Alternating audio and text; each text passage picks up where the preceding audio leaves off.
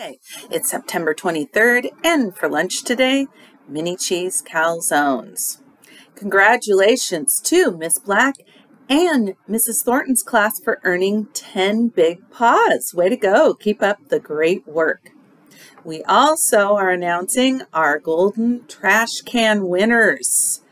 These are for the classrooms that leave at the end of the day with their classroom picked up the best, with their chairs up, they clean up any garbage. They have their recycling and their garbage by the door and they pick up little pieces of garbage on the floor. Thank you for helping out our custodians.